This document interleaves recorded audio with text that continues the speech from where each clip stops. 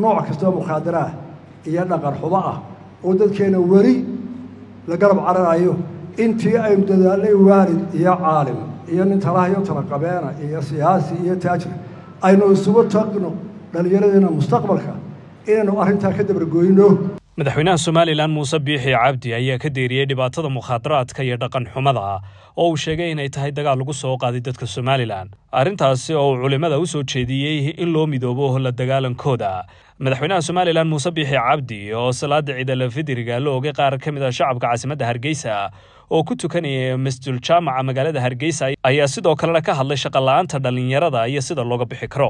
Isagaa weyne haynaga aqbalo cibaadaadkii soonkii salaadii tahajudkii iyo wixii aynu acmaalo wanaagsan samaynay iyo qur'aan akhriska allah haynaga aqbalo. Ilaahay waxaynu ka rajaynaynaa ducada uu sheekhu inoo duceeyeyna inuu inoo aqbalo ilaahay waxaynu ka rajaynaynaa waanadii uu bixiyey ee danteenna ahaydna inuu ilaahayna garansiiyo inta maqashaana ay raacdo. Aada iyo aad baynu ugu mahadnaqaynaa culimmada somalilan. Maanta iyo soddon sano ka hor halka mujtamaceennu maraya diin ahaan hawshaa cibaadada ilaahaya ee qur'aan akhriska ah ee tartanka ah ee dhallinyaradeenni maanta ay u badan tahay inay masaajidada inta camirtaa u badan tahayna ilaahay intii abaabushay oo culimmadu u badan tahay iyo intii ku taageertayba ha ka abaalmariyo dhaqankaana aynu sii wadno. Intaa waxa raaca innagoo intaasoo dadaal lagu galay dadkeena dhaqankiisu inuu islaamig noqdo weli shayddaankiina waa ina garab cararayaa. Weli dad badan badan baa u baahan in laga hanuuniyo waxyaalaha qadafka ah. Ay ugu horrayso waxyaalaha caafimaadka iyo caqliga iyo caqiidadaba dilaya in badanoo waynu ka hadalnaa weli waynala socotaa. Waxaynagu badan mukhaadaraadka oo noocyo walba. Ah waxaynu u baahannahay inaynu aada iyo aad arrintaa ugu dhow yeelanno oonu dalka kala dagaalanno. Waxaynagu socdaa waxalliyo wixii shaydaaniyad ahayd ood muddo dagaal lagu soo qaaday inay tahay nooc kastoo mukhaadaraah iyo dhaqan xumo ah oo dadkeena weli la garab cararayo intii aynu dadaalnay waalid iyo caalim iyo nin talahayo talaqabeena iyo siyaasi iyo taajir aynu isugu tagno dhallinyaradeena mustaqbalka. Inaynu arrintaa ka dabargoyno oo aanay ina qabsanin dadaalka ayaynaan ka hallawda waa qodob qodobka labaad waxaa la ysku raacsan yahay meel walba ummaddu way tarmaysaa intayna halkan fadhida nin waliba wuxuu garanayaa afartan sano kahor qoyskoodu qof iyo labay ahaayeen. Maantana waa boqolaal bay ku dhow yahay qaarkood. Dhulku ma fido waxaynu u baahannahay caqligii iyo fikirkii. La ysugu tegi lahaa in dadka koraya ee badan ee soo socda aynu camal la'aanta ku hayno in wixii ay qabsan lahaayeen loo beerana. Xilku maanta kolba intii joogta ee mas'uula ayay saarantay laba qodob baynu kaga bixi karnaa arrintaa.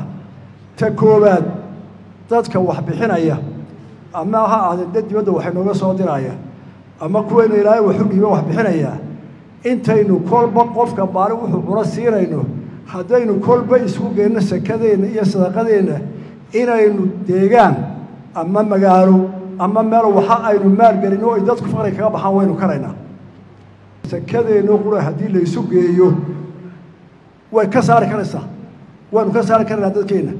Laakiin waa talay nagu socoto oo ah dadku inay noqdaan dad aan caqli lahayn ee gacantuun hoorsada waxdayda arrintaa in badan baynu soo qaadnay halkan horaan uga hadlay waa xoojinaya. Waxay noogu hadhay inaynu caqliyaddaa ka saaray dadkeena baryada ah waxbaa loo qaybiyey waa run ilaahay ba dadka faqiiriga ka dhigay taajir. Ilahay baa rasaaqadda u qaybiyey laakiin diinteennu markay sakada soo rogtay waxay ahayd in dadka faqriga laga saaro. Maanta adduunka somaliland waxaa ku jirtaa meelaha caalamku aada u hadlayo. Marka laga reebo kaza inta kale way ugu hadal haw badantay maxaa keenay? Waana wada ognahay halka wada hadli mayno hal su'aal baynu isweydiinaynaa soomaali waxay ahayd afar lixdan sano ka hor shan qaybood. Shantaa qayboodna waxay ku tashadeen in soomaali la isu geeyo oo dowlad qura noqdaan ayaa laga siinaa oo laga wada hawlgalay. Inagoo quri laynama qaybin isticmaaladii dhulka qaybsaday dowlado badan.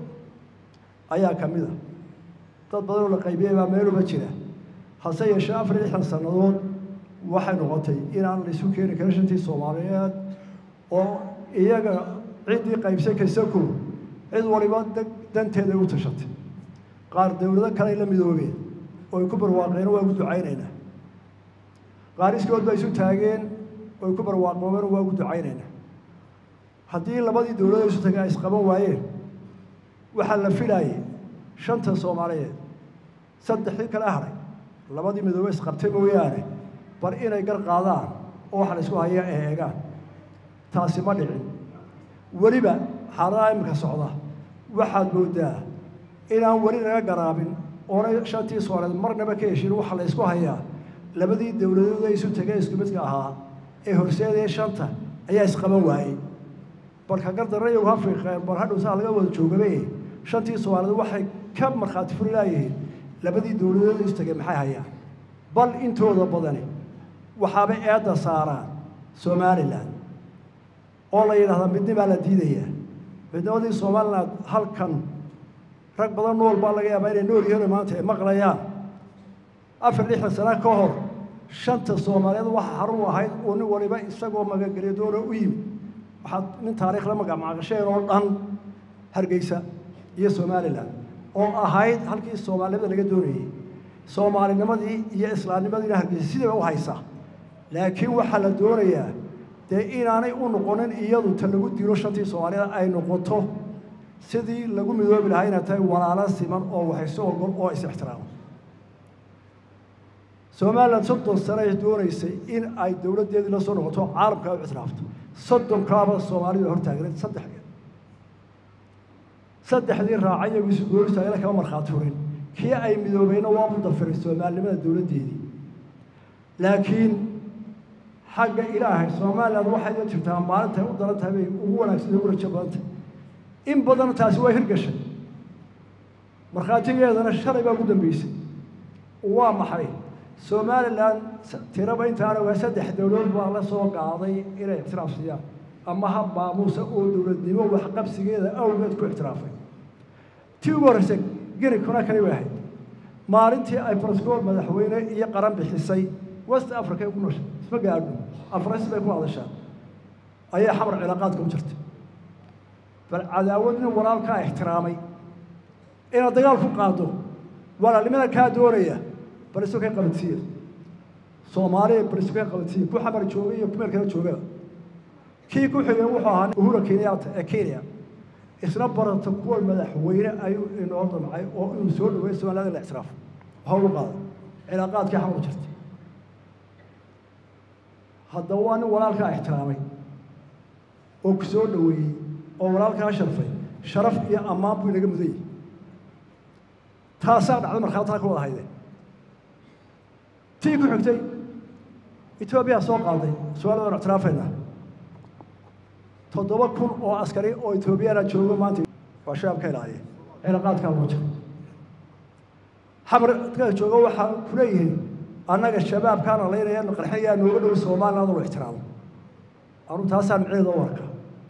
Waana walaalkay waana kii aan waxu waana kan sharfay waana kaan le walaanu kala garbax culimo iyo caame iyo waxagada caqligaas bal siduu yahay ha la ego soomaali oo dhan maaha intayna halkan joogta suurtagal maaha saas.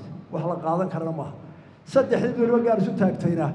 Weli nin soomaaliyeed oo saddexdaa mid waliba halkeeda ku nooshaa yidhaahda war meeshaa waxbaa qaldan waa la kala gar leeyahay. Ma hayno. Hase yeeshee waxaa ilaahay inoogu marg furay. Shalay gini konaakari ninkii cilaaqaadka u jiray wasiir khaarijiyaha ahaa ee maalintaa cilaaqaadka u geeyey ee weliba aada faahfaahiyey eed moodaysay inuu jannadii ku tagay isugu faanayo ayaa maanta leh waan ka go'ay ana xamar oo dowlad kaleaan ahay oo way qaldanayd oo waxaa la hayaaba waa khalad. Bal markhaatiga ka weyni waa kuwa. Waa isla wasiirkii shalay lahaa gina konaakari waa isla wasiirkii shalay lahaa muxuu somaliland u ictiraaf. Ayaa maanta miidiyaha ka taagay. Qallooca halkaa yaallaa meel buu ku jiraa. Waxaan ku soo gabagabaynayaa haddaynu somaliland nahay cidna colaad uma hayno wixii dhibaato ina soo gaadhayna horeynu uga saamaxay inagu waxaynu doonaynaa shanta soomaaliyeed oo mid waliba halkiisii barwaaqo ku yahay oo walaalo wada qabsaa iyaga oo siman oo is-ixtiraamaya ay yihiin. Wixii taa ka hooseeya eena adigu matiid waxba. Waxaanu leenahay adiguna waxba noqon maysid kaana aqbali mayno. Waxaad sii abuurtaa un waa colaad iyo nac iyo dhibaato sii socota. Taa intaasaan uga waanaya u dhaafi maayo